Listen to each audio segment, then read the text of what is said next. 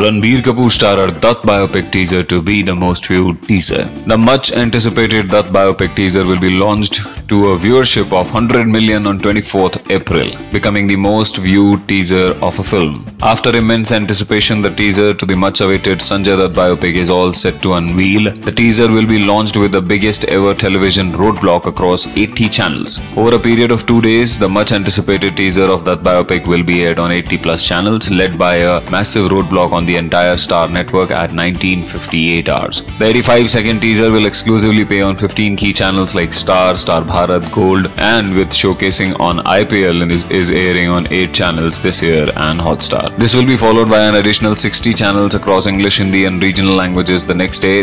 That would encompass the TV audience across all key markets like Maharashtra, West Bengal, Punjab, UP, Bihar, Gujarat, along with four South territories. The simulcast, which will would reach out to 100 million plus unique TV viewers in India, making it the highest ever viewed movie teaser. Starring Ranbir Kapoor as the iconic actor, Sanjay Dutt, the biopic has been one of the most discussed film ever since its announcement. One of the most awaited films of the year, the Dutt biopic will portray Ranbir Kapoor in a totally different avatar. The young actor has undergone a drastic physical transformation to fit the part and will be seen six different looks, tracing the life of Sanjay Dutt. Produced by Vidhu Vinod Chopra and directed by Rajkumar Hirani in association with Fox Foxstar Studios, that biopic is all set to be released on 29th June 2018.